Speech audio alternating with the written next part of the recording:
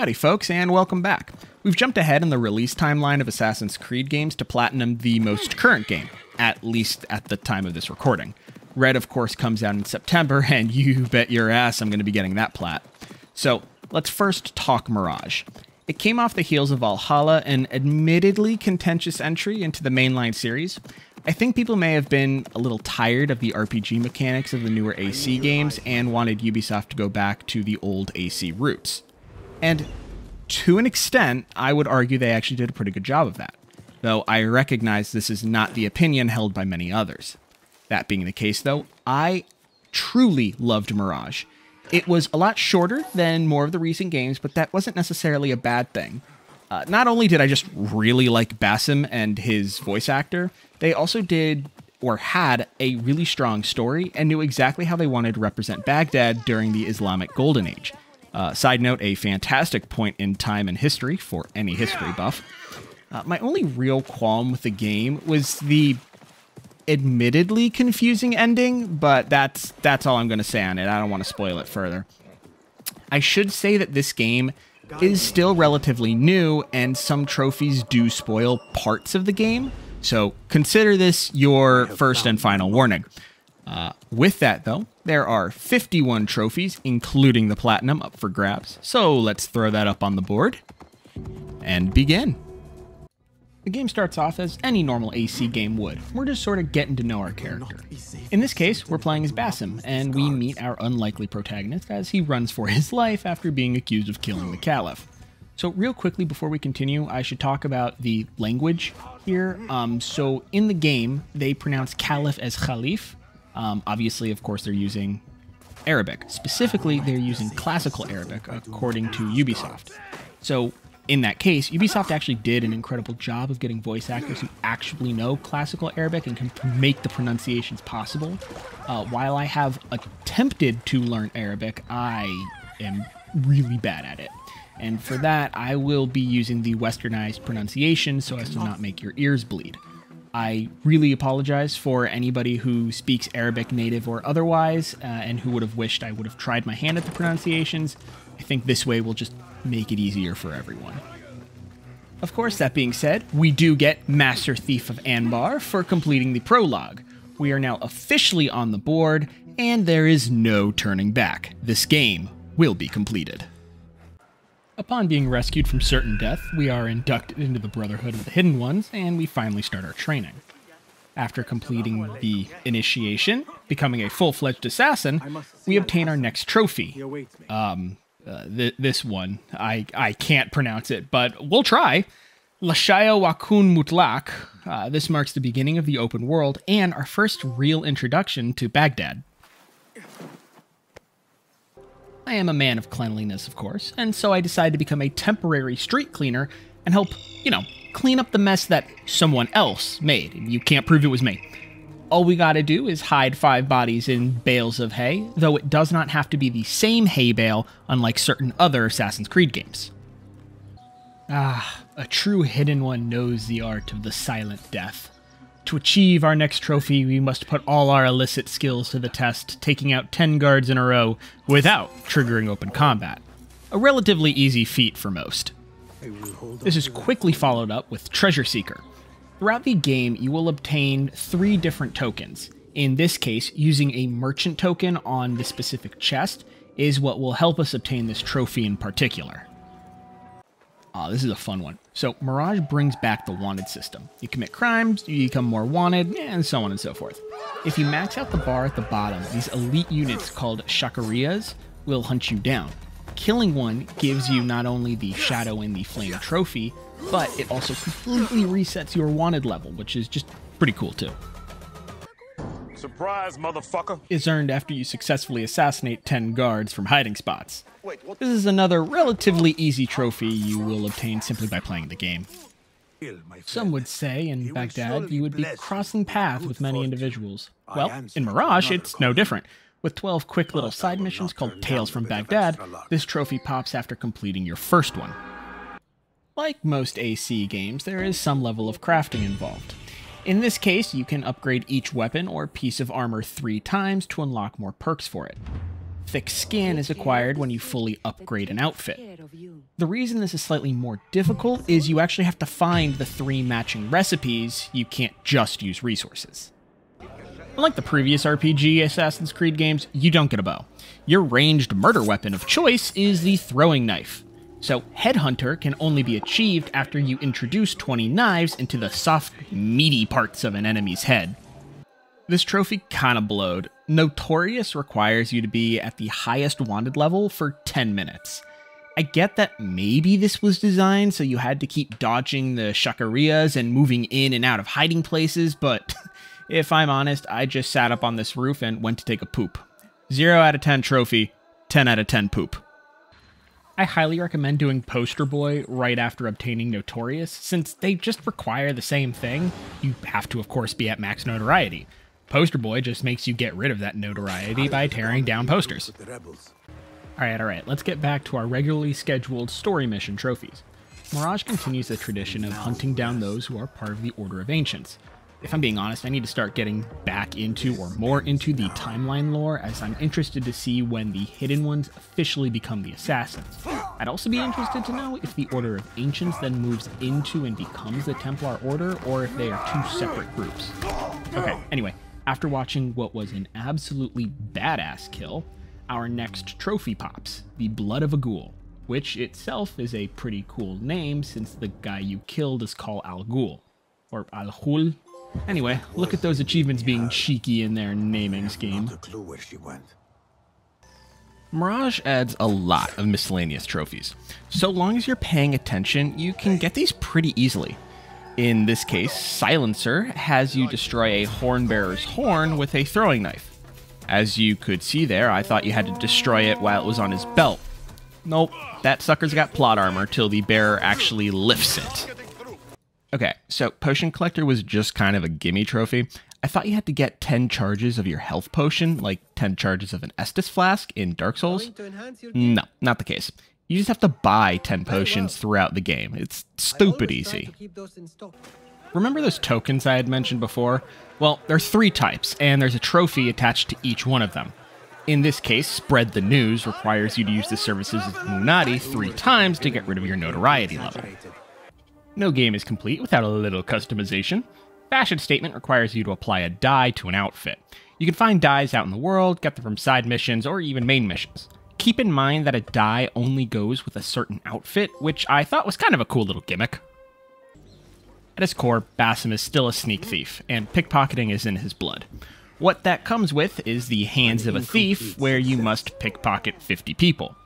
This was just sort of a fun little minigame, super quick and non intrusive, but was your main source of income outside of contract missions. Fun literature history lesson The Epic of Gilgamesh, according to historians, is the oldest written known story and was loosely based off the actual historical figure, King Gilgamesh. All this to say, your eagle Enkidu is a major character from that tale, being an overpowered wild man that, long story short, Gilgamesh befriends. Why is any of this important? It's, I mean, it's really not. I just like adding historical context to these videos sometimes. And the trophy you get, Birds of Prey, is acquired when you tag 100 guards using Enkidu. Much like its armor counterpart, Cutting Edge requires you to upgrade a weapon to its max level. Nothing too out of the ordinary here, let's just move on. We get our second of four, I had misspoken earlier, medallion trophies with Patron of Sellswords for paying mercenaries to kill on our behalf at least five times. I didn't use these guys as much as I should have because they're pretty damn strong. Our next trophy pops with Defender of the People, and you get it after completing 10 faction contract missions. You'll need to complete a majority of these so that you can get enough skill points for a later trophy, so don't sit on these and remember, get them done. This was another one of those just dumb trophies. Eagle's Will requires you to stay in open combat for 10 minutes. So I get into combat, set a timer, and put music on in the background as I taunted this guard until the trophy popped and I killed him. These time based trophies just sort of kinda suck.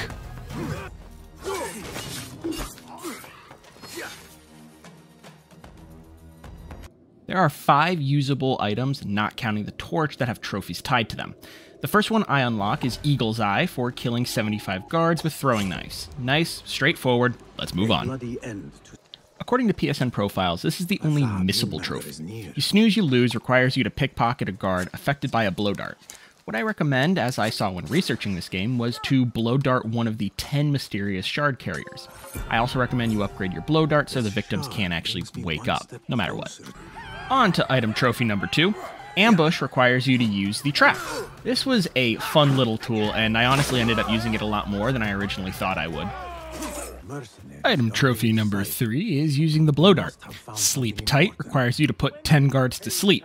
So make sure that you have the blow dart tuned for the sleep darts instead of the rage dart ability, otherwise it just won't work. Back to the story missions. This mission has us hunting down the second order member, and we also receive the first of two disguises, which are used in a later trophy. The Blood of a Demon, while a cool sounding name, doesn't have the same cheeky naming scheme as the other one, so, you know, I'm a little disappointed in that, but it's still a trophy, so I won't complain too much. Item trophy number 4 uses the aptly named Noisemakers to obtain the even more on the nose trophy, Attention Seeker.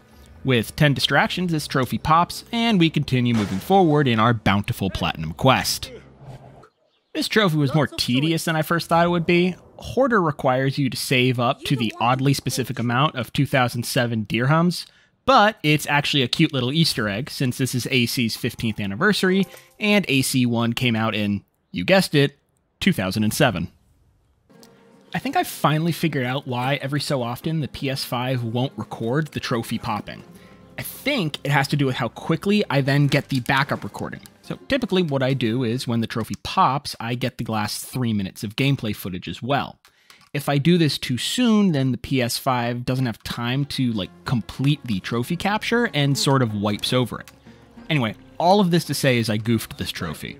Master of the Arts is for using the musicians five times using their special coins. So sorry about that, but this is the only one in this video, so you know, progress. Our final item-based trophy is Up in Smoke, which just requires you to affect 20 guards with smoke bombs. Personally, my favorite support weapon outside of the throwing knives. Story kill numero tres comes to us in the form of Blood of the Enchantress. It was a nice and relatively tame kill, but with it, we are three order members down, only a few more to go. Like Origins, this game has a waiting feature to change the day from, well, day to night. Unlike Origins, it only requires we do it five times instead of 30. Dawn and Dusk is the culmination of waiting five times.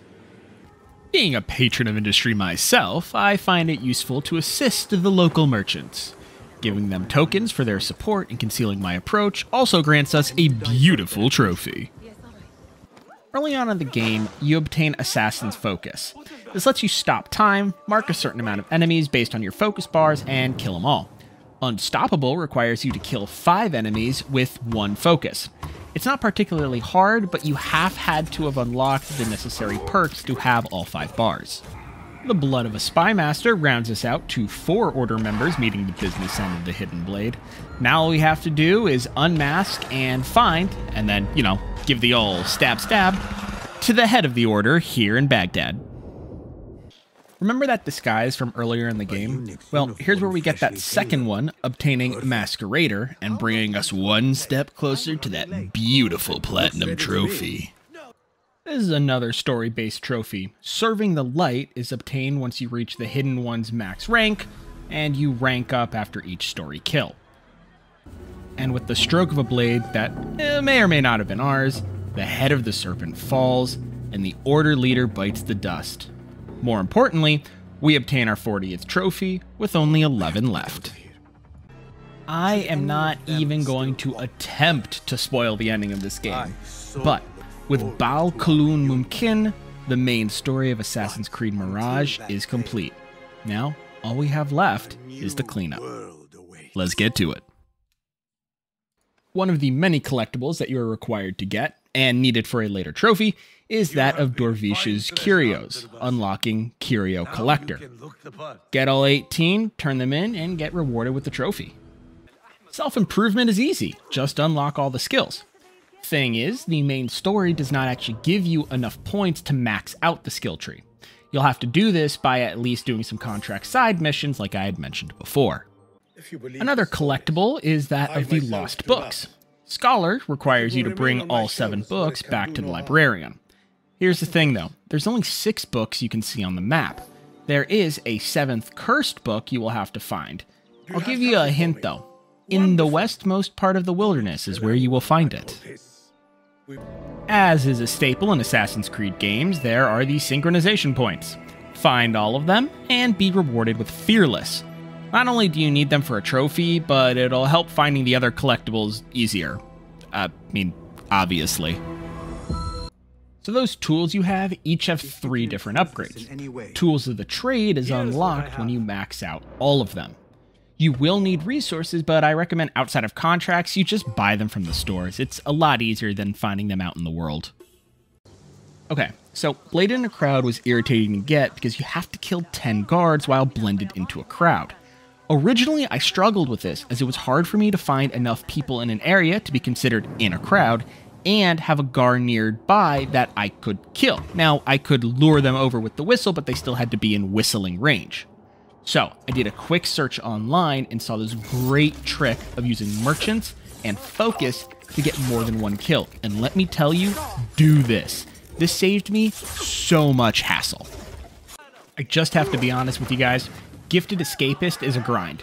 You need to topple 20 scaffolding structures, and they aren't super common, nor will you use them very often. When you get to this point, look at a map online of their locations and just plot a path to run. You'll unlock it eventually.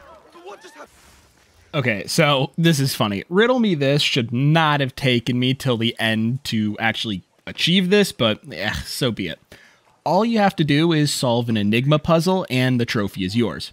You'll acquire all the Enigma puzzles as they are also necessary for our next trophy. Explorer is what I would call the 100%er trophy. You have to fully explore the whole map and pick up every collectible and do all the things. Do that, and wham bam, thank you ma'am, you get the trophy. And of course, at the end of the road, with no introduction necessary, we achieve the Platinum Trophy for Assassin's Creed Mirage, Master of His Fate. With that, the game is complete and we add another Platinum Trophy to the collection. I really enjoyed Mirage. It had its few downsides, of course, but overall, the game had a great story, great gameplay, and just it didn't overstay its welcome. Ubisoft did a fantastic job of toning back their formula, uh, you know, after the rightful criticism of Valhalla, and they came out with a banger of a game. I'm looking forward to what I imagine to be a much larger game with Red, but eh, we'll see come September. This, of course, leaves only five AC games left Unity, Syndicate, Origins, Odyssey, and Valhalla. I'm currently actually working through Valhalla, but that requires near 100 hours for the platinum, so I'll probably do an off and on with other AC games. So, with that, I can't actually be certain which one will be coming out next. As well, I have a couple achievement videos in the works, and most importantly, I have Constantine's Adventure Episode 2 coming out later this week. Whether that be on Monday or Saturday. I'm not sure yet. Real life is real life. I want to thank everybody who's recently subscribed and joined the channel. I truly appreciate all the support and look forward to providing you all with more content. And of course, I always appreciate your patience. With that, please remember to, of course, like, comment, and subscribe for that beautiful YouTube algorithm. And I'll see you in the next one. Peace.